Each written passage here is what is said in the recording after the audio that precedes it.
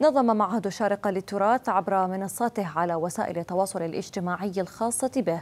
وعبر برنامج مايكروسوفت تيمز فعاليات اليوم الثقافي المصري وذلك ضمن أجندته المتعلقة ببرنامج أسابيع التراث العالمي الذي يستضيف فيه شهريا بلدا عربيا أو أجنبيا تحت شعار تراث العالم في الشارقة.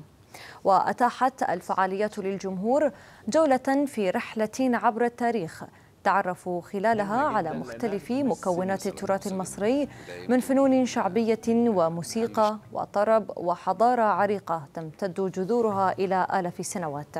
وقال سعادة الدكتور عبد العزيز المسلم رئيس معهد الشارقة للتراث إن تنظيم هذا اليوم الحافل بالتراث المصري بشكل افتراضي جاء دعما للإجراءات الوقائية والاحترازية.